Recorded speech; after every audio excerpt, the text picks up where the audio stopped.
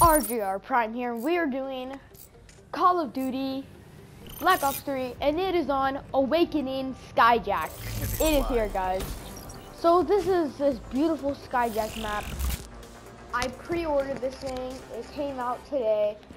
So this is just to show you how the map looks so far.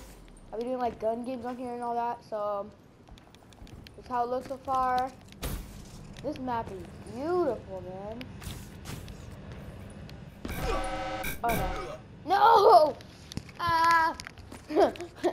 okay, so that's this is the whole map right here.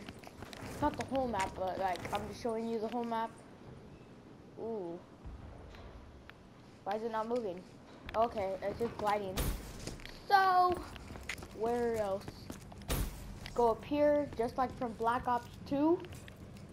Um, did these doors open or something? No? Okay. Um, so, this is, oh, oh, I thought that was a person. Wait, that was a robot. Okay. So, this is just some of the map. This looks really, really cool. High tech. Um, so yeah, like I said, I'll be doing a more awakening walkthroughs and all that. No pool? No! There used to be a pool right there in Black Ops 2. I really missed, I missed it. Okay, I remember this spot. Yep, I'll go in here. You just come from this place, their spawn. Yeah, guys, so that was just Awakening.